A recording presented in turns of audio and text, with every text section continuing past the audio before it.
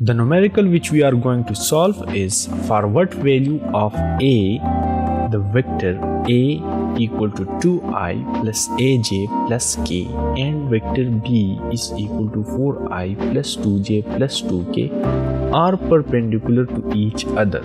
So we will determine the value of a for which these two vectors will be perpendicular to each other. Let's solve. Now according to the scalar product, we know that a dot b is equal to ab cos theta. This is also known as the dot product. Now let's consider this as a vector a and this as a vector b. Now for these two vectors to be perpendicular to each other, the angle between these two vectors must be equal to 90 degrees.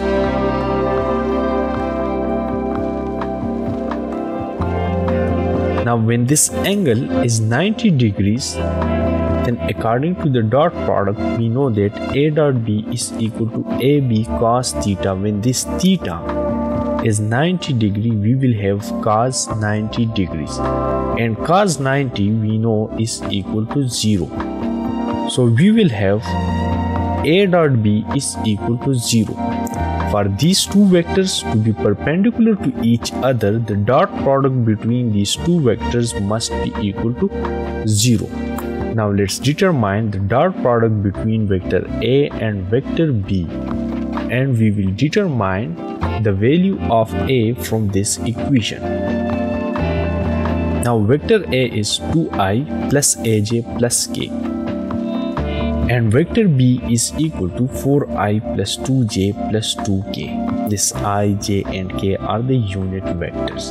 Taking the dot product between these two vectors, we will have 2 multiply 4 which is equal to 8 a multiply by 2 which is equal to 2a and 1 multiply by 2 which is equal to 2. So we will have 8 plus 2 is equal to 10 plus 2a is equal to 0. Now from this equation we will determine the value of a for which these two vectors a and b will be perpendicular to each other.